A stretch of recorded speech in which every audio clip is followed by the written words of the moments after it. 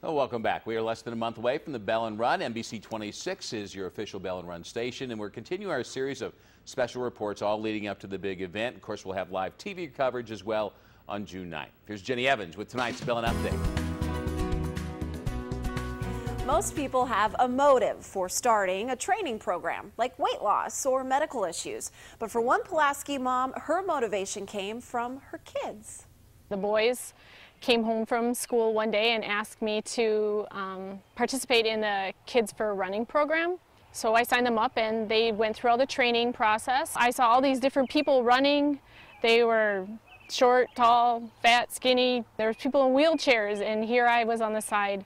That afternoon when we got home, I I told them that I was going to run that race with them next year and um, they laughed at me. And that hurt as their mother, um, but it also made me determined. Lynda joined a weight loss program and began training for the Bellin. I started running and I ran the Bellin with them the next year. It was a great, exhilarating experience to be able to run a 10K. Lynda is still amazed at the feeling she gets after completing each race. Every race that I can say I did it.